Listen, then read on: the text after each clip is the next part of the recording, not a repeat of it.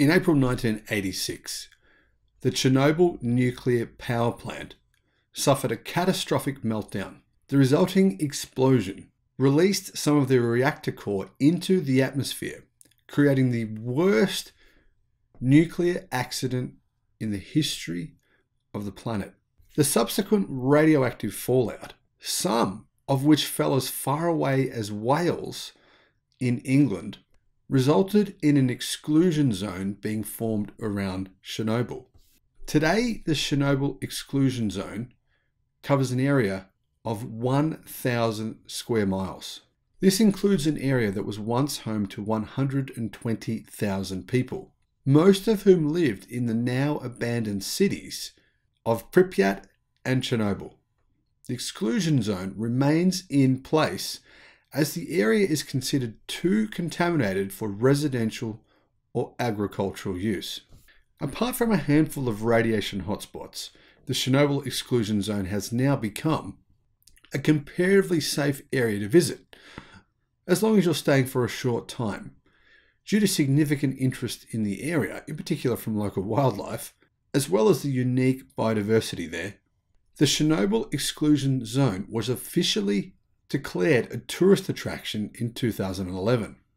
And with the successful installation of a new sarcophagus, which will seal the damaged reactor for 100 years, the disaster site is about to see renewed activity. In fact, they've now installed solar panels in the exclusion zone, which have enough power for thousands of homes. Built in the contaminated area, which remains un- uninhabitable, the 2 megawatt solar plant provides renewable energy, making use of contaminated toxic land that would otherwise sit destitute. One of the best, absolute best things about solar energy is that we can make use of land that is completely devoid of use, either poisoned, landfill, or old coal ash sites. Hello, my friends, and welcome to the channel on the Electric Viking. Great to see you. Welcome to all the new subscribers. Welcome back, everyone else. Thank you for tuning in. It's great to have more subscribers coming on board, and it's great to see everyone else. Now, I want to say, I want to see all of you.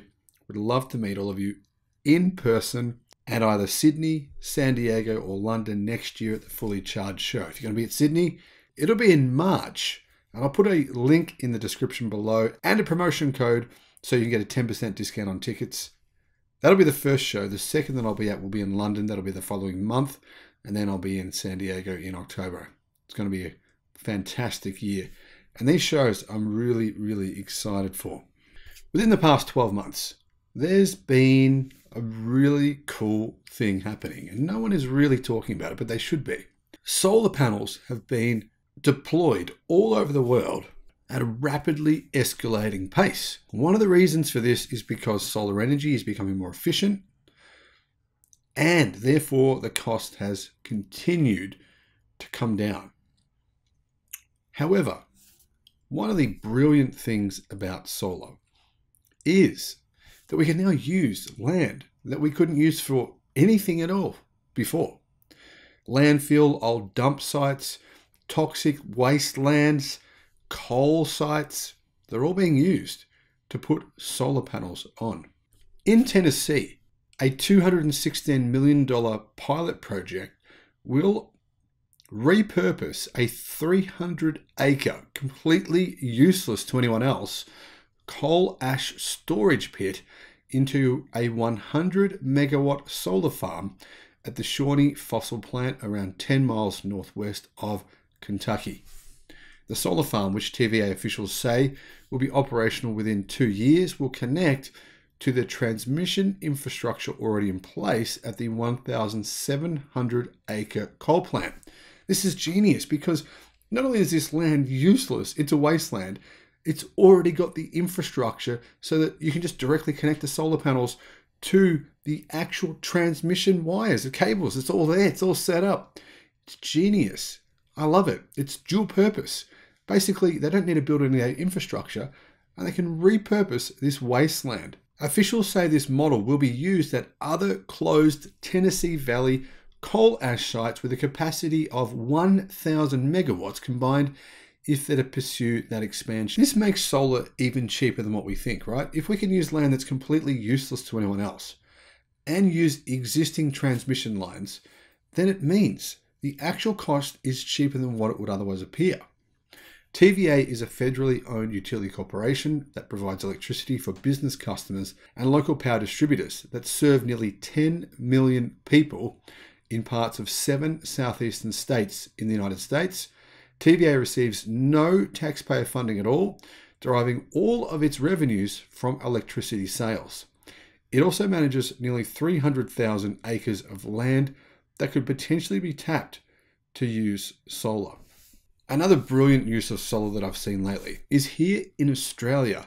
A lot of farmers are putting solar panels in their farms because it's giving their animals shelter. It's serving the dual purpose of giving their animals shelter. And also, it's earning them an income.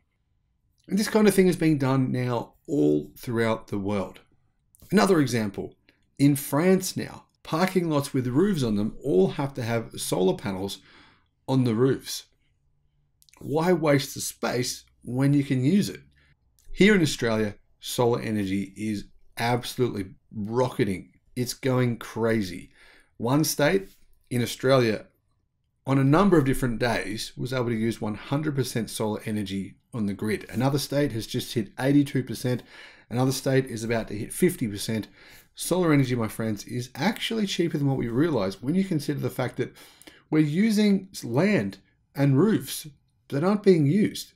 It's like taking something that's completely useless and turning it into something that not only provides us with energy, but also gets rid of, bit by bit, those coal power stations and gas power stations. I think it's not going to be long before fossil fuels are dead. Now, what I want to know is what are your thoughts on that? How long do you think it'll take before the entire world has moved away from fossil fuels to renewable energy. I believe it will definitely happen. I could be wrong though. Let me know your thoughts in the comment section below. Thank you for watching. Bye bye.